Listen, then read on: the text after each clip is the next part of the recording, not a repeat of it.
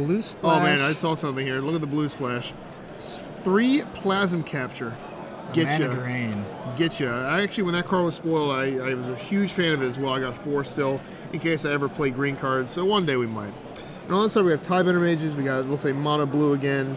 Uh, oh, actually, but then again, Charm, I see green and I see Master Biomancer, another very powerful card that people have kind of like looked past a little bit. So we'll see how it goes here. Oh man, game one, turn two, Tidebender Mage. Isn't that a beating? A- Locks down an Elvish Mystic. Ah, the beating. All right, so we have a couple mystics here, and Andy Buth is actually playing again devotion deck, but he's got his little green twist on it. Simic Charm is actually a real good one. It has so many different applications too. Uh, you see the other devotion decks playing simply just unsummon with scry on it.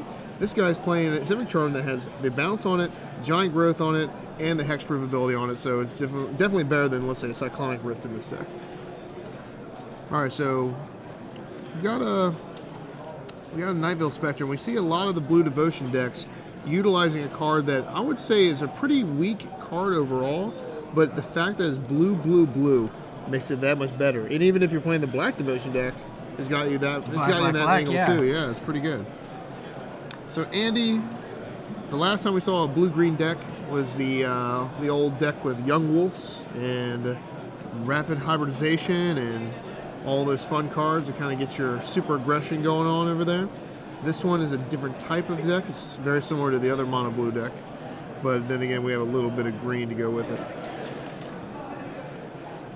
All right, let's see what we got here. Four is the master coming down. Nope, Oh, it's the tr- Bident. Oh man, That's pretty good. not bad again. Not bad. Draw like two cards, exile your card, Zegana. Oh, he might be able to cast that Zegana. Yeah. What? A, that's a pretty good card to exile, isn't it? On color. Bomb. All right, so Ryan's untapping his elf. No, yep. Let's tap that guy down still. And here's the dilemma. It looks like he's got a lot of action, but he doesn't have white or uh, he's missing color. He's missing blue. Missing blue, He's got rather? two Yeah. Stomping Grounds of Forest and an Elvish Mystic. The other Mystic tapped down Yeah, the so there he is. Tidebender. Yeah, he has double plasm capture in his hand. Yeah, I saw the blue cards. So he has a Hydra here. He can play it. But the problem is, Andy's got a full grip too, especially after drawing a couple cards there.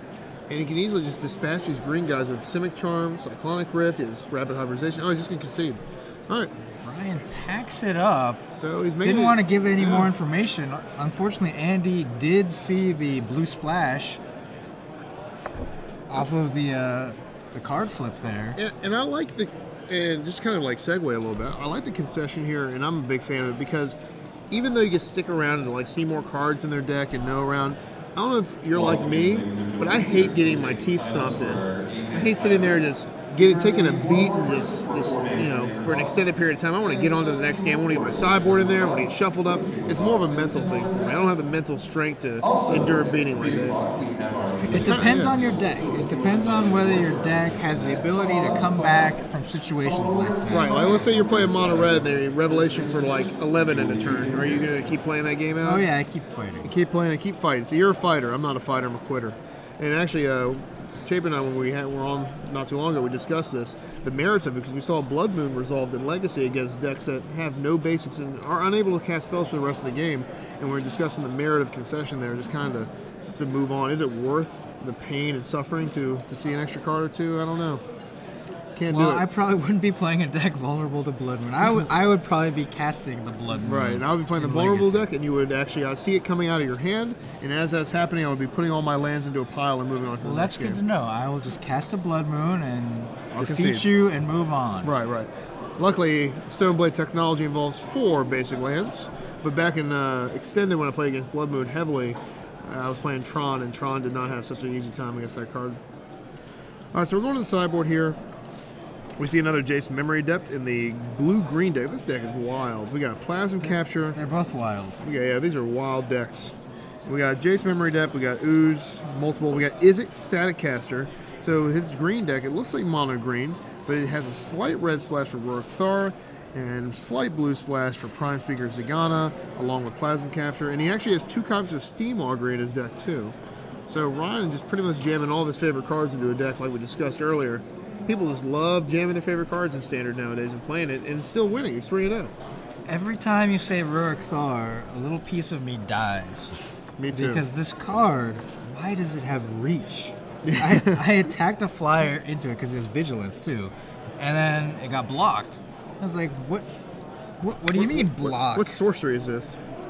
and it's like in, in Theros as well. I'm continually frustrated by the cards that have reach. Yeah, here it is. And uh, the six damage, um, obviously the big reason to play this card is just Look a, at that guy. Does yeah. that guy look like? I mean, he's big, but he's not even a giant. He's just an ogre.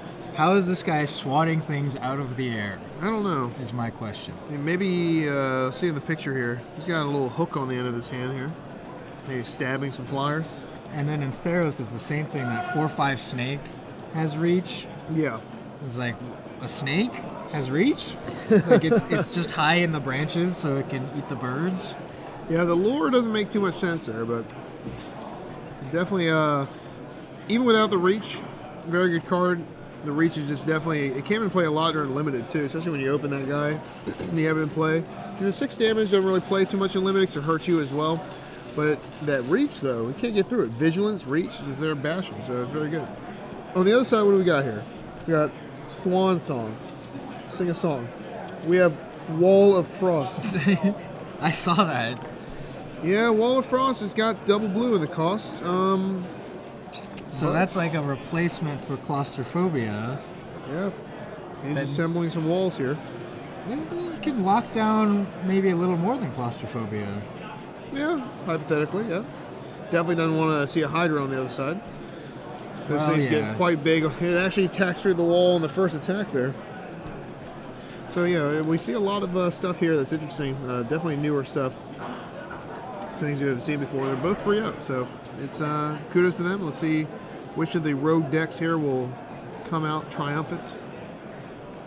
I'm rooting for. Let's see, which one's more control out of the two? I thought you could say which one has more islands. Yeah, it actually is that one too. Yeah, we're gonna go with uh, 12, uh, 12 islands for Andy Buth. I don't think I can ever root for a deck with 12 mana dorks, so I'm gonna have to go with Andy Buth over here. So Buth, excuse me. Well, that's not fair because he's already won game one. Well, he's So only going to six if it evens out here. So let's see if that'll uh, put a damper on his plan here. Well, I just really want to see Plasm Capture cast. Oh, me too. He doesn't really have anything to take advantage of it either. He has just the two, the four cards. Um, obviously, Mistcutter Hydra's cool with it too. I guess that's, yeah, that's pretty. the question: is what is he trying to do with the Plasm Just have the the biggest hydras of all time. Maybe a You Ruric, could- a Ruric Thar, a gigantic capacity.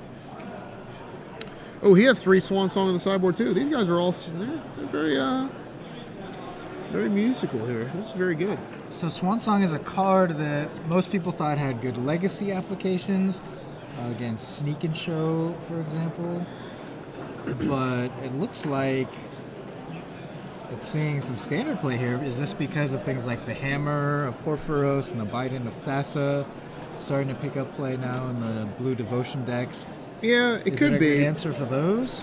I I don't think so. I think I would just pay one more in the gate, personally, just to avoid them getting a creature and having a narrow answer. Uh, it doesn't hit planeswalkers either, and we've seen the resurgence of planeswalkers again.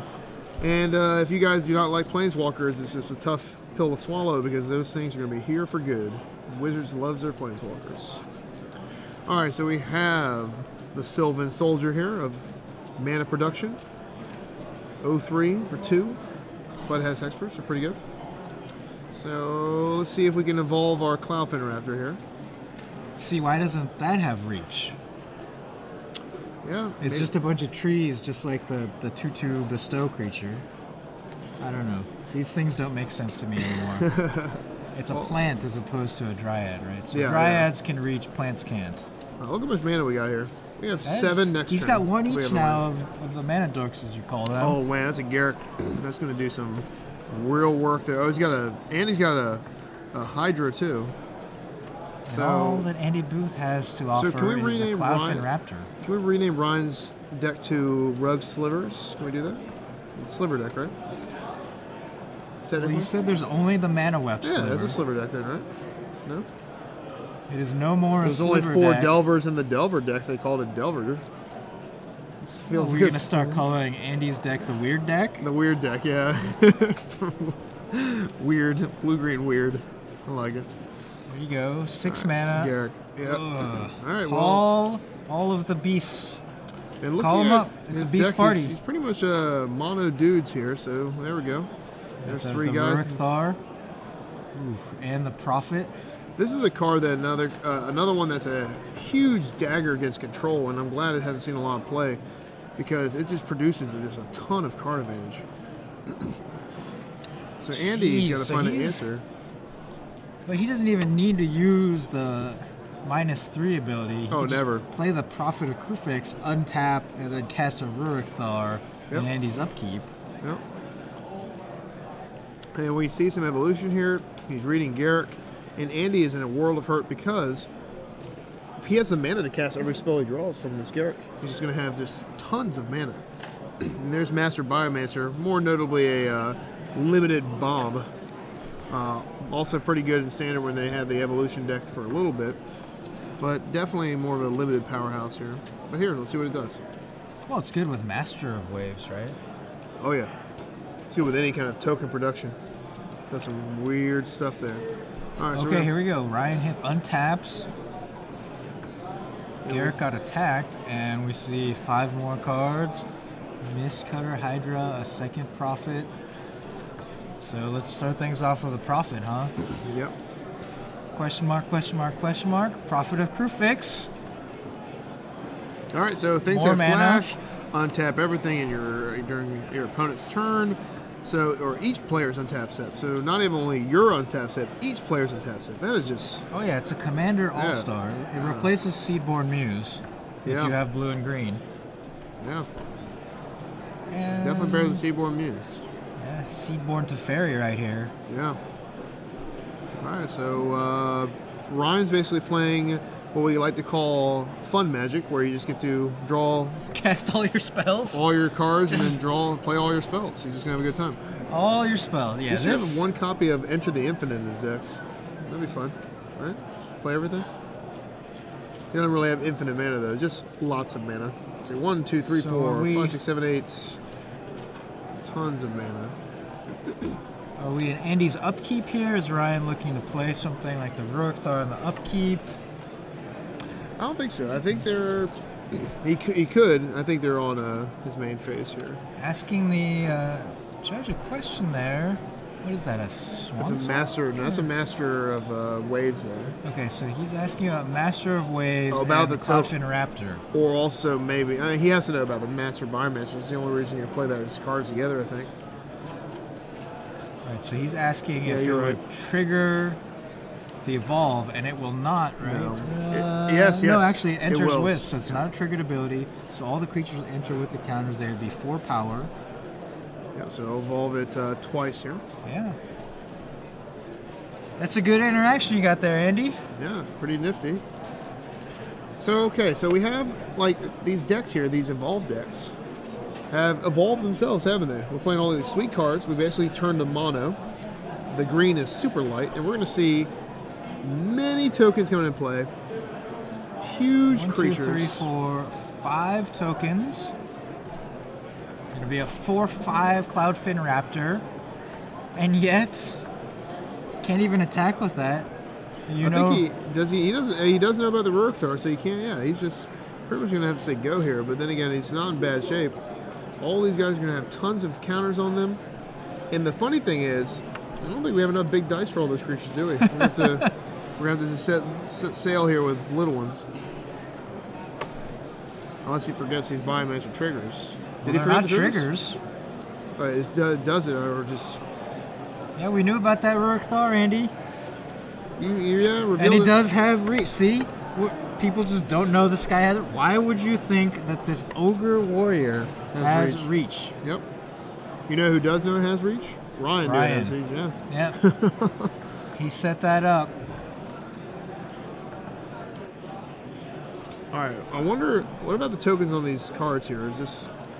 I guess we're just gonna have to uh, assume he forgot. I'm. I, I don't know. Are They we might be simplifying it to say like these are all X creatures. Or they. It's so much mana. One, two, three, four, five, six, seven, eight, nine. So an 8-8 Mistcutter Hydra. And it's got haste That card's been surprisingly and uh, protection from blue. that card's been surprisingly uh, good in this format because of all the mono blue devotion decks. Oh, he tangles with the Ruric Thar. Does he know that? What are the sizes of these creatures? I just want to know. I, or, let's assume they're two ones for now.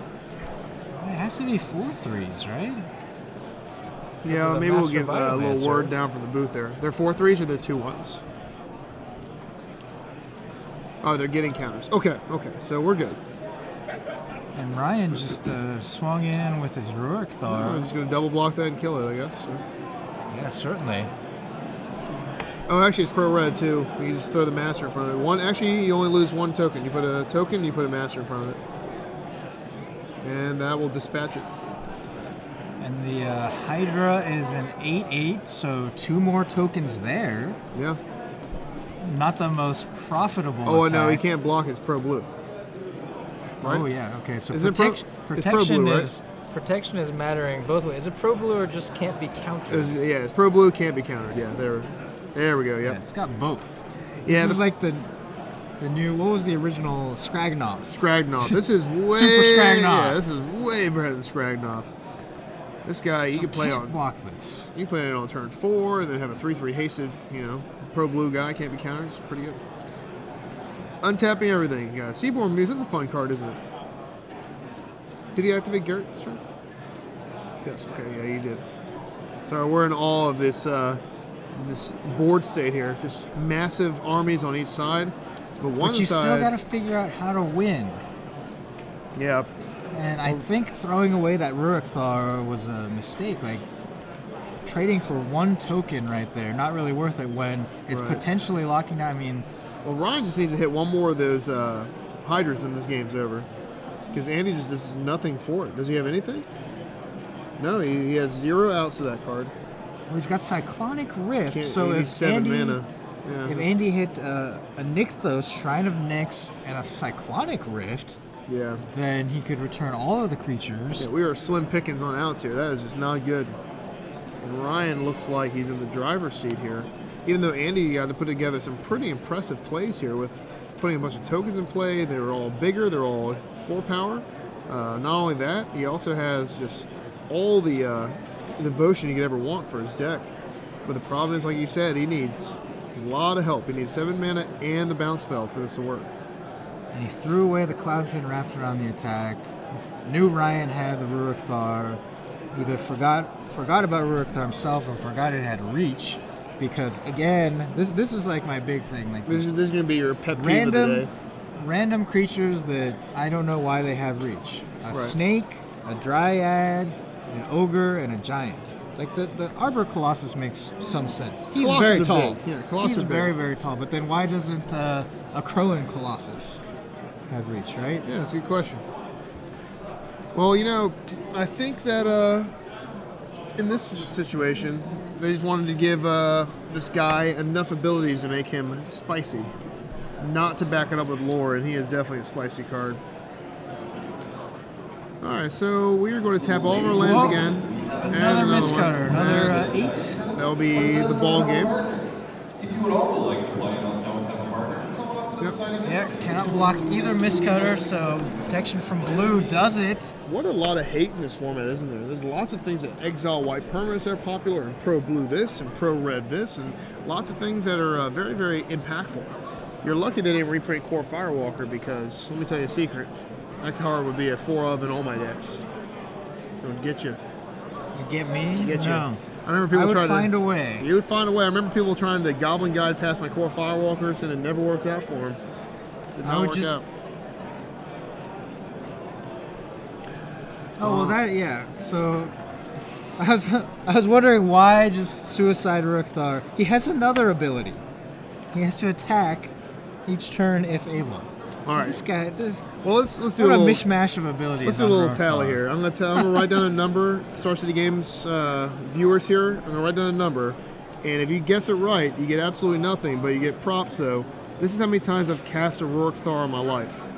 Okay, so go ahead and tweet us at uh, SCG Live or hashtag SCG MKE, the times that Shaheen has played a Ruric Thar lifetime, including limited. So you can guess it. I have casted in limited, and yeah, how many times you cast casted? Probably more than this number, right? two or three times. Okay, okay. That's good. And in limited, like you attack with it anyway because it's a six six. I've never drafted. I drafted that format a lot. I never opened that guy. The only thing about the must attack thing on on uh, Magic Online is that it does it for you. So when you go into your combat phase, I always click on the must attack guys. Yeah. It's like, well, whoops. Yeah, whoops. Can't attack. Error, error. Yeah, and then it takes off the attacking icon. All right, so suiciding Ruric is obvious. Uh, it makes a lot more sense when you have no choice otherwise. So definitely the case here. All right, so I was kind of like I'm looking at Twitter a little bit and kind of thinking about Swan Song a little bit more, and you know this how good that card would be if the mass removal spell was not uncounterable. Like that card would be fantastic because against the control decks, they remember envelop. People always play envelop, and, and Blue counter target sorcery. sorcery, yeah. And that was just you know Wrath of God, no, and then the game's over. Uh, Hallowed Burial for a little point too, and uh, Cruel Ultimatum, nah. Remember that the old extended. So like, there's cards like that. That hate cards are good, but they had to make the Wrath uncounterable. So even these blue aggro decks will fall short to it. Let's see what a Wrath does. Let's see what a Supreme Verdict does here. Tidebender Mage, Nightveil Specters, Master Waves, Judge Familiar, Frostburn Weird. Every card in their deck, literally every card in these mono blue decks, do not leave any residual advantage on the board after Wrath. Back in the day, you had Thragtusk leaving tokens behind. You had Huntmaster that had to be Wrath all by himself. You have cards like Lifebane Zombie that doesn't when they come into play. You have all these creatures that have come into play. There's Acidic Slime. I go on for days. Angel of Serenity. These cards are no longer. So with these cards gone, Verdict is at an all-time high, and then there's another reason why I think the control decks still are uh, going to be a powerhouse from here on out. Control is good when Wrath is good. Control is bad when Wrath's no good. And another great example is when Fae was legal. When Fairies was in the deck, the control decks were awful because you could not beat Fae until they made Volcanic Fallout and Great Sable Stag and the base set and all that. Before that, when they were Thoughtseize U turn one and then playing a Bitter Blossom, nice Wrath of God deck. it's not going to do anything Yeah. against them. Yeah, so Wrath's good And right the- now, so Wrath's flash creatures. It's like Yeah. Wrath, end of turn, play some more creatures. click you on your upkeep, and it's just a miserable, miserable time. I actually that nationals that I drew in, I had to play green. I played ramp because I could not play a Wrath of God deck. It was one of the few times. So. But now uh, let's see if these non-Wrath decks here. Let's see which one is the mightiest. Uh, I don't think we're gonna see any plasm captures because I think they're probably all gone after board. Not so good against the deck that has the average cost of a legacy deck here, one and two it looks like for most of these cards. Lots of early stuff. Judge is familiar. I'm not sold on this one yet. Is there anything better than this card? Judges familiar? Yeah. Uh, I don't think so. Any other one mana blue drops? We got Cloudfin Raptor already in there. Merfolk plays Curse Catcher in Legacy. Yeah, Legacy. I'm trying to think of standard. I don't think there. I guess you're right. There's probably nothing. Nothing that's Interesting interactions in this deck is the Judge's Familiar, the Nightveil Specter. These cards have the hybrid mana symbols, so you can make white or black mana off of Nykthos, which true. is relevant if you're flipping over cards with the uh, Nightveil Specter. It's true. Yeah, you And get some sweet might need the interaction. mana there. to cast those. Some sweet Uh, interaction. Frost Frostburn Weird makes red mana, so you can cast anything other than green. You flip off the Night Veil Spectre. Yeah, that's pretty good. No good, no good green hybrid. Although Andy here is playing blue green, so he naturally has access to green mana. Yeah, on the other side, Steam Augury, I mentioned it was in uh, Ryan's deck earlier, and that card is so close to being real good. It's, It's so not close. quite Fact or Fiction. It's not quite, and it's if it was. What would you do if they reprinted Fact or Fiction? Yeah, I mean, I would just be Hold ran- parade? I'd hold a parade and and throw like a little little party for all the guys at R and D, you know. But mainly, this card, the real real negative of this card is besides being in your opponent's control is later in the game it's not like fact or fiction where you draw it later it's better. The later you draw this card, the worse it is because Worse. yeah, because on turn four when you steam augury, you're gonna hit some land drops. You're gonna be able to pocket some cards. You can use all your early cards. You're gonna find stuff to use. Even if your opponent gives you whatever pile, you're gonna get land. You're gonna get some early spells like Azorius charms or cantrips. You'll draw some cards. It is gonna provide you pure card advantage. Later in the game, when you flip over those cards and there's some lands, an Azorius charm, and an impactful spell, you're not going to get the impactful spell. and It's just going to basically be a real bad cycle at best, and it just gets worse and worse and worse as the game progresses. All right, so we have a Judge's Familiar, and another Judge's Familiar. Are those the Judge promo Judge's Familiar? No, I believe those are Friday Night Magic foils. Sad. right, Ryan with Bird. Uh, He's more playing. mana dorks. Is Cloudfin Raptor a bird also? Is this a bird deck? Or is it kind of a flying fish, like a flying shark or something? Looks like a little shark, a little skate. We have a bird deck. Since we're naming Ryan's deck slivers, we gotta It's give. the weird deck. And Frostburn weird Weird, deck? comes Okay, down weird on deck. turn three. Okay. I'll, I can go with that. I can buy that. He does have a lot of merfolk in here, right? He's got eight. It's a merfolk deck. All right, so Ryan here is doing the same thing he did last game. Mana guy, mana guy, mana guy, mana guy, and let's just tap it all and just do it up. It looks like his hand's pretty weak though. I think this is what's that blue card? Is that a song, swan song? What is That, that looks like a swan song. Okay. So he's got he did board in Swan Song, even though his opponent doesn't have much to hit with that card. A total of seven cards in the entire deck. And giving them another flying creature is pretty rough. Uh, we are just, aggressive. he says go. So he Interesting saying go there. he just wants the Mistcutter to block the Frostburn Weird. You're basically trading four damage for four, but he has to tap all of his lands for that to even Yeah. come into play. No, you. I think Ryan missed a valuable opportunity to, to put this game into a short, easy clock management situation. He should yeah, he should have attacked there. Because Andy would have, if, if he did attack, he would have just swung in for one with the weird. Yeah, Because yeah. he wanted to cast this master. Especially with a hand as bad as Ryan's is, where Swan Song and land. Yeah, there's another land for him. Oh, he has Prime Speaker Zegana coming down this turn. But not attacking there is, is pretty rough, pretty risky. I mean, here I can see not attacking uh, because you're going to have to hold back a lot of meat here to block. But definitely plays, I mean, you don't really have any options here. He needs to take two damage from this Stomping Ground and then play to Zegana. Zegana. He has to. He's done That's, that's his only land. Yeah, he's got the Temple of Mystery, which comes into play tapped. So he's going to have to shock himself to cast his Zegana here, and that's what he's going to do. Going to draw himself five cards, Yep. four counters on Zegana. One more card. There we go.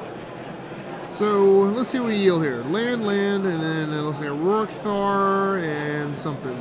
So he's got a lot of land in his hand, and it's pretty rough because I don't think he's playing that much land. He's only playing, yeah, he's only playing 23 lands. And when you're playing 11 mana dorks in 23 lands, you're really giving yourself a, you're, you're putting yourself in a corner here. So that's 35 mana sources. That's over half your deck. So this can happen pretty often to you. It's always a risk, you know? Always a risk. Yeah, but he doesn't mind the mana dorks so much. I mean, just play some extra creatures to block here, trade with some waves. Yeah, he's, he has four of the Mistcutter Hydras in his deck, and that's that's that card is just unbeatable right now. He's got to cut down on the number of waves coming at him. Those 2 1 elemental tokens off the Master of Waves. yeah, he's definitely uh He can block two creatures here. Take 10? Uh, that's that's a rough spot to be in. Oh, and the man. Bident. That's going to draw Andy all the cards he needs to put this game away. But like we said, he still needs an answer for some pro green guys. Peter Noida. Think how big that four damage was Peter now. Think how huge it was. To the stage, please. I don't really, Well, atta- I don't really attack with just those if he- elementals. I mean, if you're gonna do that, you probably should attack with the Frostburn Weird too. if he'd attacked with the Mistcutter Hydra, he would have taken one back from the weird, right? Right. Yeah. So that may actually matter. Well, he also took all this damage too. He only can block two guys. I think if I was Andy, I would have probably got in there with a Frostburn Weird too. Yeah, most definitely. Just get another extra point of damage in. Yeah, it'd probably be two points because if he wanted to block the Frostburn Weird, he would have taken an additional two from one of the wave guys, putting him at three life. Uh, there's a Simic Charm. Oh, now Simic Charm. Bouncing the Master. Yeah, it can definitely clear a lot of the board over there. Buy, buy yourself a turn and then maybe deploy some more threats. Does he have a Prophet of Kruphix yet? That would be a really big one to allow him to utilize all the cards he's drawn off of Prime Speaker Zegana. Yeah, I think sadly, it looks like he just has a lot of land though. He's got at least two or three more in hand. A Swan Song, a Simic Charm, and there's another uh, Sylvan Caryatid there. Okay, so he needs he needs Ruric Thar to keep the judge's familiars off his back because it's got reach. It also has the must attack that I forgot about. So I forgot that he must attack. Andy forgot that he has reach, and you probably forgot that it had vigilance, right? I don't. I I forgot everything about the card. You forgot it existed. yeah. So All right, let's see what happens deploy here. some caryatids. Trying to buy himself some time here, get more mana. Does not deploy Ruric Thar, the Unbowed. So, well now he is now he's attacking with the Mistcutter. Yeah, and I mean, better late than never. It needs to happen though. I don't know. Does he have enough creatures to block all of these threats, or is he just counting on using the Simic Charm to reset the Master here? All right, and uh, congratulations, Buy yourself a turn. congratulations to Cameron Paul Warrior. Uh, he was correct in the number of times I've cast Ruric Thar, and the answer is Is zero. it five? Is zero. Uh, Zero. Well done. You win nothing, but uh, congratulations and thanks for listening. We appreciate it. Appreciate your help. Definitely a card that's not very potent. Not not in the blue decks I play. It'll be very counterproductive by playing it and using counter spells behind it. That is a lethal set of Judges Familiars. Attack for two this turn, and then the third one just cast. Yeah. Ryan might have to swan song his own spell. Can you do that? Is it a counter spell? Its controller puts in, I'm sure. He could do that, Yeah. but I believe he needs to have his Simic Charm resolve here on the Master. Or does he have enough creatures on the ground? I don't know about attacking with the Mistcutter Hydra that turn. Well, now. picture it. If he would attack the first turn and have him at 12, if Ryan drew another Mistcutter Hydra, he'd win this game. Because he could easily deal 12 to him with both Hydras out. make But- an 8-8 Hydra, yeah. Yeah, that would have been. So Ryan will definitely kick himself if he draws a Hydra here because he doesn't have enough mana to make it lethal right at this point. Okay, Andy plays Nykthos, Shrine and Nyx. Oh, Tidebender. Tidebender's gonna tap down something big, probably the Prime Speaker Zegana. You might get all his creatures hexproof, but I don't think it's worth it. I think you need to save it for bouncing, like you said.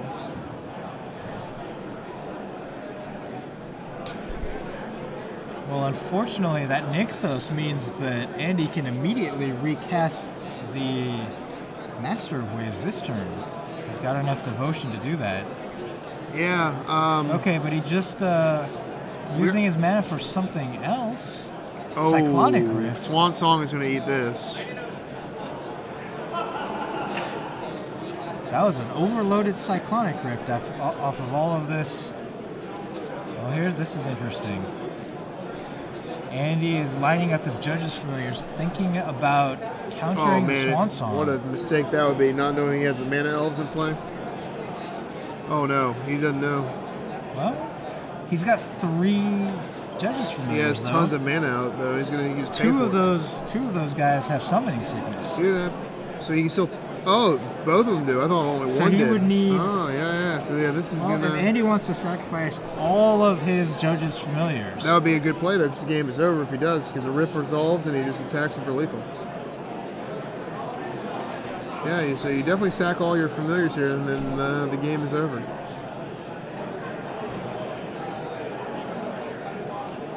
Ryan, you don't have a choice. You know, you have to pay for it. And you gotta hope that he makes a mistake.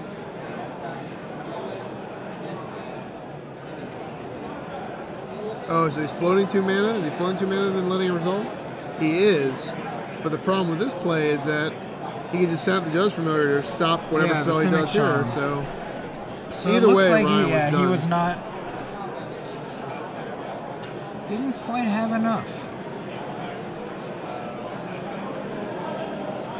Go to my combat. He says Simic Charm, targeting your master.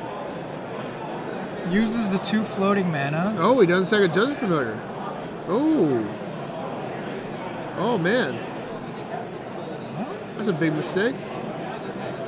gives Ryan a shot, but what shot does he have? He had all those, Yeah. those mana creatures, so now he's just down to five lands. Yeah. So it was a mistake by Andy. He could have countered this and attacked with the, the elemental tokens for the, the win, but doesn't really give Ryan much of an No, opening. he's got a bunch of land in his hand anyway. So. All right, so Andy Buth wins this game 2-1. Uh, Mono Blue Devotion with a splash of green. Uh, we are seeing Devotion as probably easily the best mechanic in a long time for competitive play. Yeah, Especially so with this Pro Tour in mind.